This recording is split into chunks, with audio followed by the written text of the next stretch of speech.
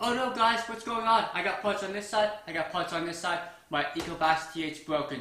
Okay, I need to sit in for repairs. Luckily, I have a one year limited warranty. Alright, see you later, Ozmo.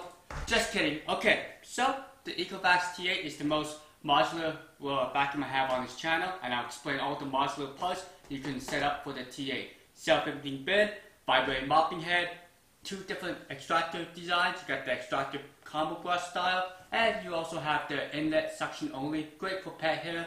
Lastly, you have two different mopping modules. This is the regular electronic mopping water module, but you also have an electronically vibrating one as well. Very, very cool. You also have washable mopping pads plus disposable mopping pad options. Oh my gosh. And lastly, this guy has a self-emptying bin. So before I show you all the cool components, I want to thank this person. I'll put right here. Let me bust out my awesome smartphone, the Galaxy Note 9, and we'll just pull up this username or this user.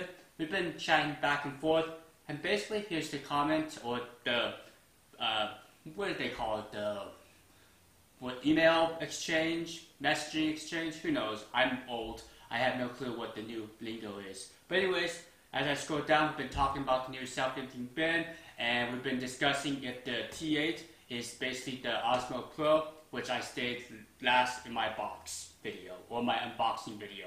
Alright, so yes, let me show you that the T8 does work with the new self-emptying bin, and also the new vibrate mopping module.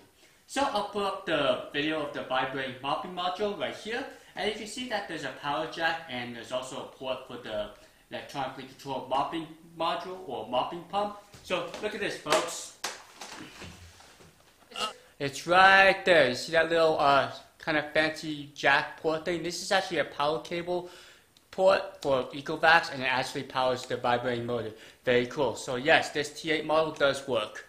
And then on this side is the for the pump. Very, very cool. Now, I want to show you something else. If I open up the flappy lid thing, take out the dustbin. Oh, okay guys, here's how the self-emptying bin works. You notice these two little plastic tabs right here? This is actually removable. Look at this. Watch. I just poked out the hole. And you can do it for this side as well.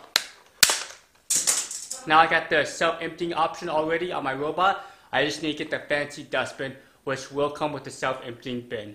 So, what this guy says, basically it should come around June or so in his country. But hopefully it comes around that time in the USA.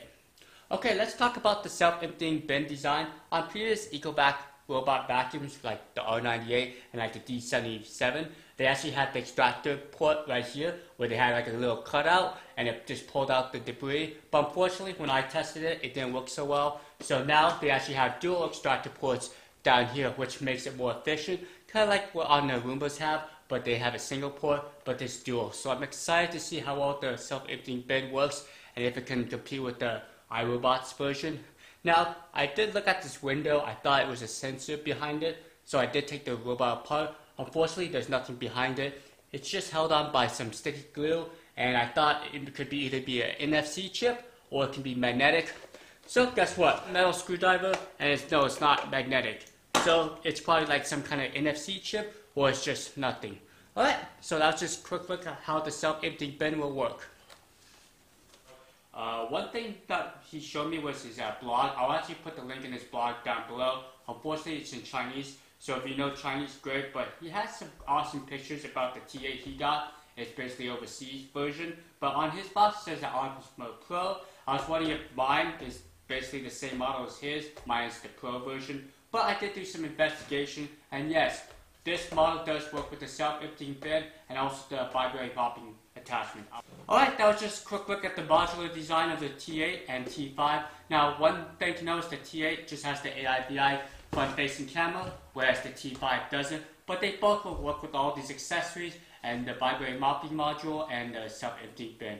Well, that helped explain everything that's going on with the T-series. Just like Ecovacs is going with the modular route, adding additional accessories to the robot vacuum. Alright, so stay tuned for the self-emptying bin once I get it. And I also will do head-to-head challenges with the Roborocks, the Roombas, and also the Proscenic M7 Pro. Alright, see you later.